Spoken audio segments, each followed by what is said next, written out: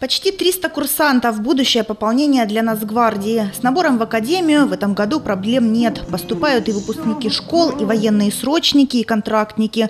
Больше половины уже с опытом боевых действий. Остап Солодкий из зоны АТО вернулся летом. Служил по контракту в Луганске, защищал аэропорт. Чи страшно було, звичайно, на блокпостах ос- особливо. А потім якось звикли, звикли. Тому наш дружній колектив, офіцери з нами дбали. Потім ми, була можливість поступити. Думаю, та попробую. Попробував, поступив, радий, що поступив. Надіюсь бути хорошим офіцером, потім дослужитись до генерала. В горячих точках на Донбассе сейчас воюют практически все выпускники Академии. Среди них уже десятки убитых и раненых, рассказывает командующий Нацгвардией Степан Полторак. Побывать в зоне АТО этим летом пришлось и преподавателям Академии. Викладачі обов'язково. Викладач взагалі не може викладати, якщо він не відчував на собі е, проблеми і не побачив, чому він погано когось навчив виконувати завдання. Коли він е, відчує недостатній рівень підготовки, що він там, які помилки він сам зробив, коли навчав, е, ну я думаю, що толку не буде. А тоді, коли він там побув і відчув на собі, значно якість підготовки буде покращена.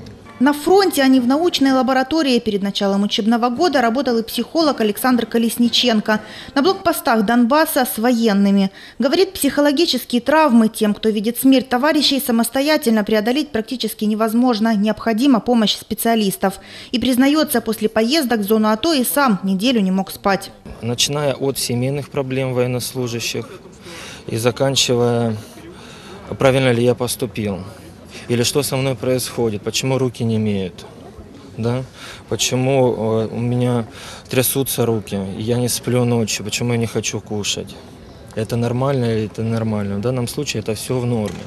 Несмотря на военные действия, желающих стать офицерами немало даже среди девушек. В этом году на первый курс Академии Нацгвардии поступают больше двух десятков выпускниц школ. Е, Коли почали бої, почалися бойові дії, я все-таки настроїлась сюди поступати. Мама Ліля, можливо, не потрібно, але я все ж вирішила. Мої батьки підтримали мене в цьому.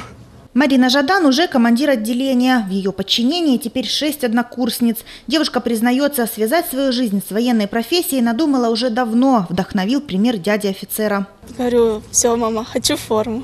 Мама говорит, хорошо подумала. Говорю, да, а смелости хватит, вот э, выдержки всего этого, терпения. Говорю, буду стараться. Вот э, привели меня сюда, сейчас не жалею ни секундочки. Ранний подъем, серьезные тренировки, физические нагрузки и знакомство с военной техникой – все это девушки-курсанты преодолевают наравне с парнями. Перед поступлением все они прошли курс молодого бойца. Мы жили в лесу, Писаревке, вернее Писаревка.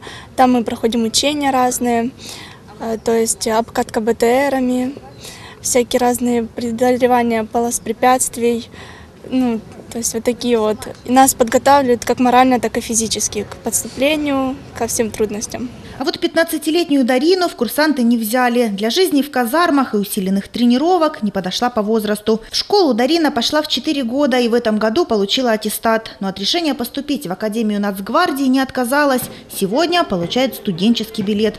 Девушка мечтает стать военным переводчиком. В Академии будет изучать английский и французский. Я считаю, что в данный момент это актуально.